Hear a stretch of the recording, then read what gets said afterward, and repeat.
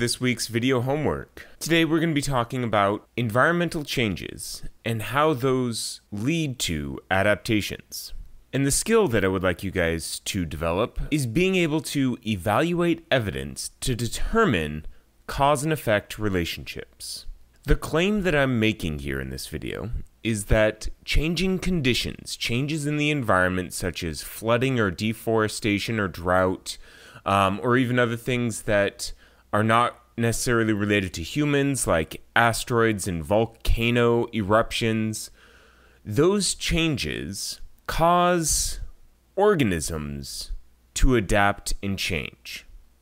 When the environment changes, it can cause three different things to occur. It causes populations to increase or decrease. It can cause new species to evolve from older species, or can cause the extinction of some of the species that are there. So, if there are changing conditions, it can cause any one of these three things. That's my claim. So, we're going to be looking at the evidence that supports that. But first, I'd like to talk to you guys about correlation versus causation. These are two ways that two variables might be related to each other, but they have some key differences. Correlation means that the changes between two variables change together, whereas causation means a change in one variable causes the change in the other. So let's look at some examples of faulty correlational studies or sort of wrong correlational studies. There's this fun website that I found where uh, this individual, Tyler Vigen, collected a lot of data and he used a computer algorithm to connect various data that was completely unrelated. And he would make charts that would show the relationship, the correlation between two random things. For example, in this graph, it shows how much US spends on science, space, and technology, and how that correlates to suicides by hanging, strangulation, and suffocation. Now, just looking at it, it would appear that each of these data points go together. That as we spend more on science and space and technology, we have more and more people committing suicide. And so it seems like there's a connection. There's that there's a cause and effect. But these graphs are all just correlated. It just happens that the this data fits together. So let's look at some other random graphs. Like the number of people who drowned by falling into a pool. Is that at all related to the number of films Nicolas Cage appeared in in each of these years? Just looking at the data, it looks like they're connected. They might be correlated, but they don't necessarily mean one causes the other. I mean, these are completely random. So this graph here connects the age of the Miss America beauty pageant winner and the amount of murders by steam, hot vapors, or hot objects. Completely random to two completely random things, but they appear to be connected. So that's correlation. It's when two different variables might fit together, but they don't necessarily cause one another. And so you have to be careful. If you find a correlation between variables, that might be a clue that they're connected to each other, but it doesn't mean for certain that they are. What we look for in science is causation. So to find if two variables aren't just correlated, but they have a cause and effect relationship, we need more evidence and we need better explanations of that evidence. Our explanations have to have good reasoning, the evidence has to be sufficient and relevant, and typically that evidence and the experiments need to be peer reviewed in order to be able to draw a connection between a cause and effect rather than just the fact that the two are correlated. So, if we go back to my initial claim, where changing conditions cause either populations to change in size, the emergence of new species, or the extinction of species, we can try to make a connection between these two variables. Do changing conditions cause this, or are they just correlated? And when scientists make that claim, they're going to support their causation relationship through this idea of natural selection. Now, I've already done a video on natural selection, so I'm only going to go over this briefly. Natural selection comes about when these four things occur. The first one is that organisms, populations, have the ability to increase in number. We learned about that when we were looking at the population growth and how the population of water buffalo uh, increased exponentially when they had enough resources. All organisms have the ability to reproduce faster than they will die. However, that then leads to number two, in which competition for limited resources eventually occurs. Once you've increased in number, eventually you'll have a population that is big enough where the resources will not support your large population and therefore there will be competition. We learned about that when we were talking about carrying capacity. Now, step number three is that in the population of individuals, there is inheritable genetic variation. There is variation in the genes of the individuals of those populations. So that those differences come from mutations and they are able to be passed on, they're heritable.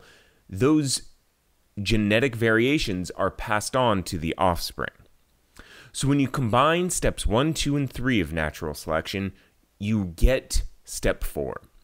Step 4 is the proliferation of the most fit traits and individuals. Proliferation means the expansion, the increase.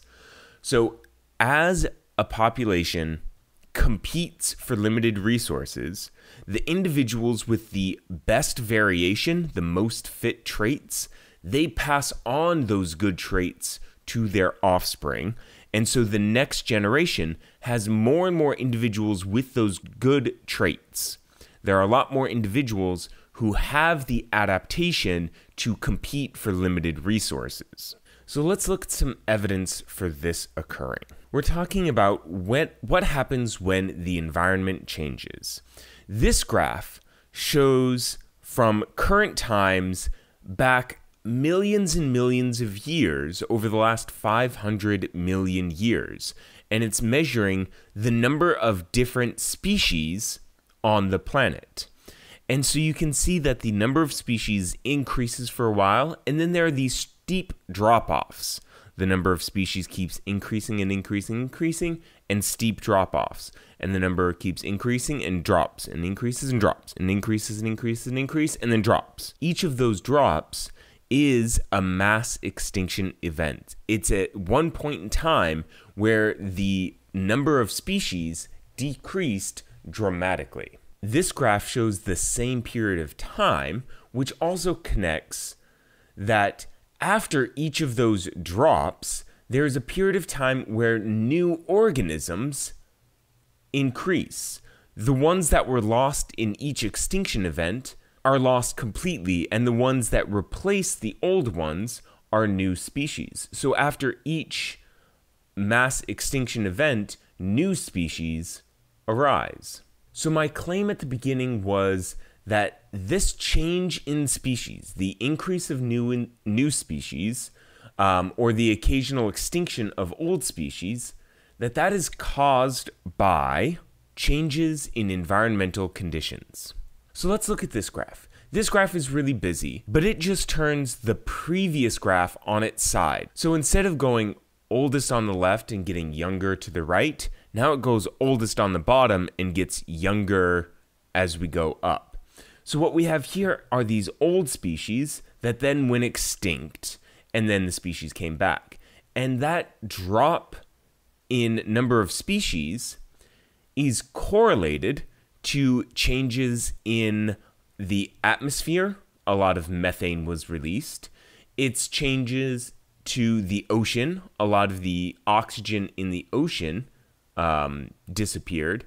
It is correlated to changes in the carbon cycle, as well as this emergence of this giant series of volcanoes that erupted at the exact same time.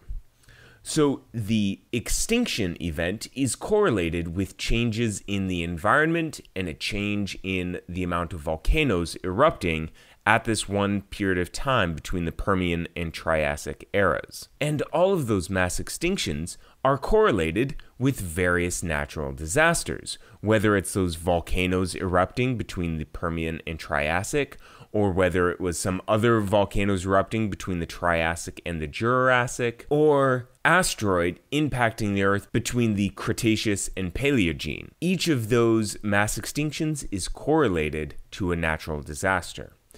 But in order to make our claim that the mass extinctions were caused by these natural disasters, we have to evaluate the evidence. And our evidence is explained through natural selection, which is the causation between changes in the environment and these extinction events. So, to tie it together, we have these species that are showing population growth as they grow and adapt to their environment, more and more species emerge. And so you have this increase in the number of species over long periods of time. Each of those species will be splitting off and dividing, and eventually you have a lot more species over some amount of time. But then the environmental stress increases, there's more competition for resources, which causes the extinction of some of the individuals. So some of the individuals die off, they are no longer able to pass on their genetic variation. The amount of species decreases, and as the new species that emerge, these new species adapt and proliferate, they are better fit to the new environment. And that continues to occur until another natural disaster causes more competition and the extinction of many of the species. So, what I'm saying is that the normal environment causes organisms to adapt and change, and they, as they do that, new species emerge. But when there's an increased stress from these natural disasters, that causes extinction events due to a lack of resources and increased competition. So I was able to take the evidence of a correlation in natural disasters and the number of species on our planet and use an explanation of natural selection to identify the cause and effect relationship between changes in the environment and changes in the population, changes in the number of species, or extinction of other species. So I hope that all made sense. And if you have any questions, make sure you write them down in your notebook, and we will have an opportunity to answer them when I see you next time in class.